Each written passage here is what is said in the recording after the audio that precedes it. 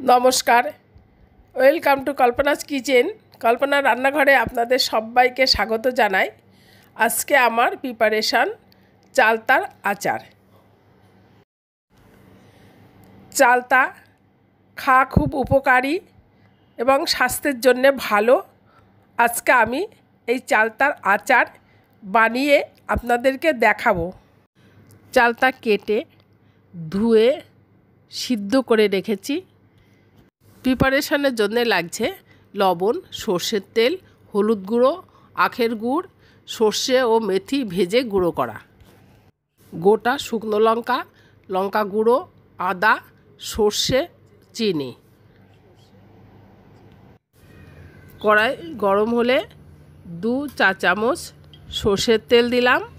সর্ষের তেলটা গরম হলে গোটা সর্ষে ফোড়নের জন্য দেব।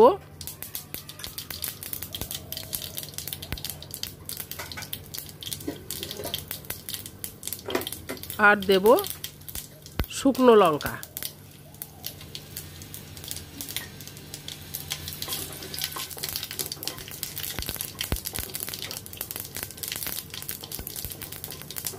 লঙ্কাটা পুরো ভাজা হলে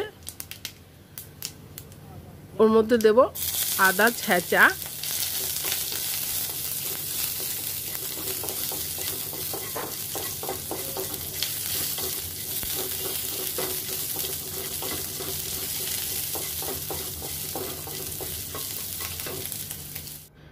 সিদ্ধ, পিস করা চালতাগুলো সব থেতো করে নেব।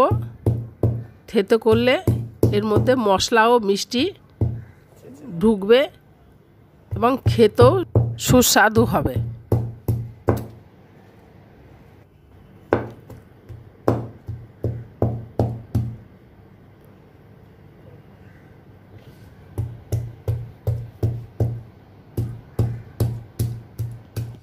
ওই কড়াইয়ের ভাজা মশলার মধ্যে লঙ্কা গুঁড়ো,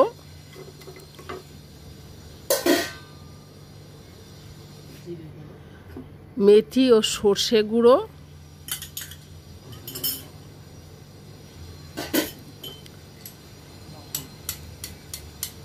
পরিমাণ মতো লবণ, হলুদ গুঁড়ো দিয়ে একটু নেড়ে নেব। এবার ওই ছেঁচা চালতাগুলো সব দিয়ে দেব।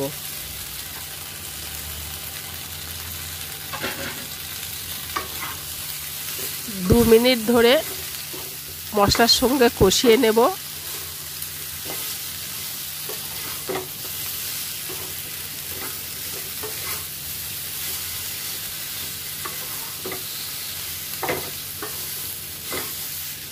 কষানো চালতার মধ্যে দুশো গ্রাম আখের গুড় ও একশো গ্রাম চিনি দিয়ে ভালো করে মিশিয়ে নেব।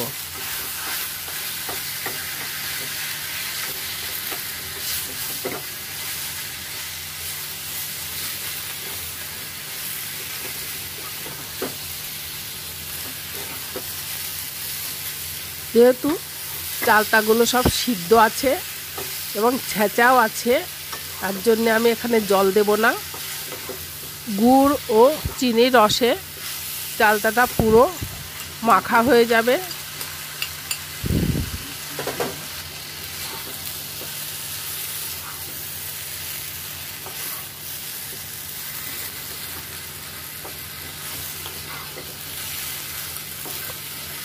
এই আচারটা ঘরে অনেক দিন রেখে খাওয়া যায়। যেহেতু জল পড়ছে না, সেহেতু ফ্রিজে রেখেও খাওয়া যাবে এবং অল্প অল্প রোদে শুকিয়ে বাইরে রাখলেও অনেক দিন ধরে খাওয়া যাবে।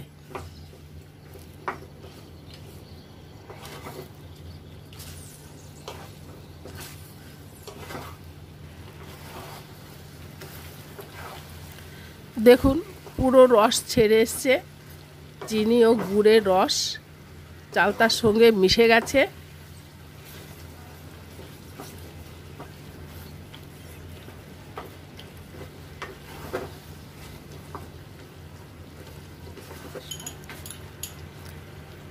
সর্ষে ও মেথি গুঁড়ো দিলাম।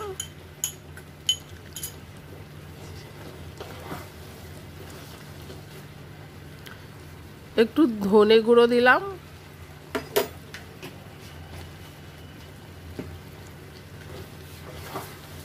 দিয়ে চালতার সঙ্গে ভালো করে মিশিয়ে নেব।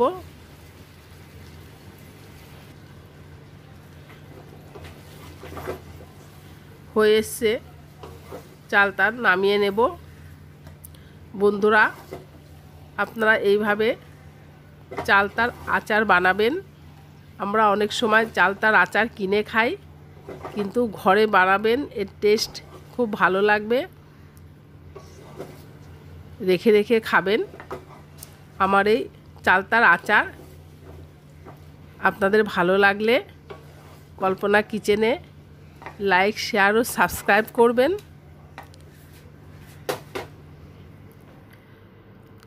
সবাই ভালো থাকবেন। ধন্যবাদ।